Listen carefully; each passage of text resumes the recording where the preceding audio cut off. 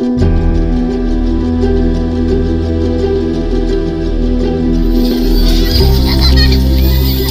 tahu masa depan mereka ada di tangan para guru dan saya sebagai kepala sekolah.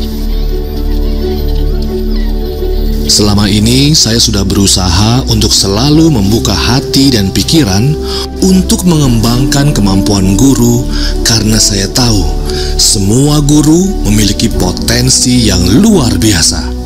Itulah tugas saya sebagai kepala sekolah untuk menciptakan tim yang hebat demi masa depan para siswa.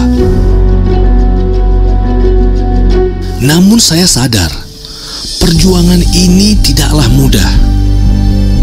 Banyak hal yang perlu diperbaiki bersama.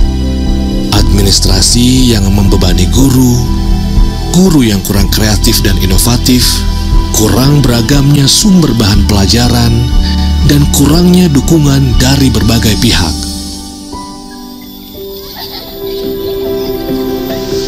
Namun, sekarang dengan adanya program sekolah penggerak, saya dan guru-guru sangat merasa terbantu.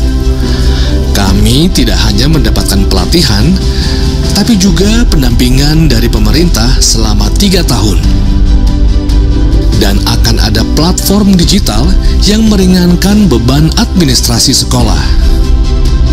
Saya tidak bisa sendiri. Kita harus bersinergi melakukan ini semua.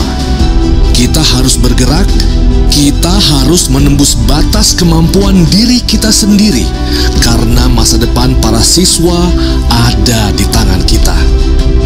Mari, para kepala sekolah, Ikuti program sekolah penggerak untuk Indonesia yang lebih maju.